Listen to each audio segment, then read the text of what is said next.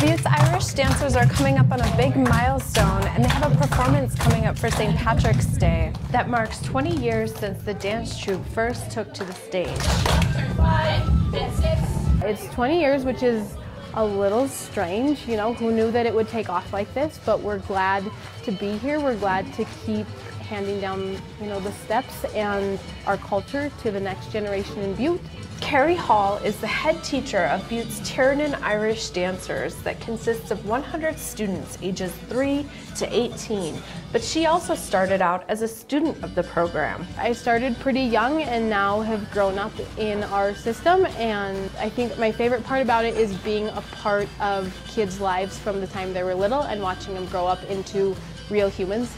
Each year, dancers move through the levels, achieving new steps and costumes, and ultimately earning their solo dresses. But another goal of the program is to help the children understand their connection to Butte and Ireland. You know, those that came before us really um, made it a point to get this information to them, and it wasn't just a fluke, it happened on purpose. The theory goes that during the English oppression of Ireland is that the Irish dancing, Irish culture, Irish language and history wasn't allowed.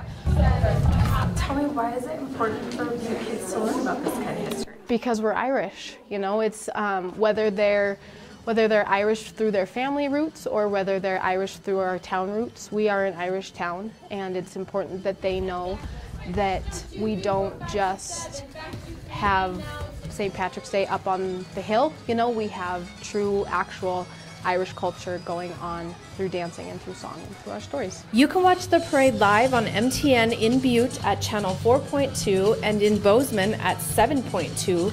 The dancers also perform the annual Handing Down the Heritage on the 17th at 6.30 in the evening at the Butte Civic Center.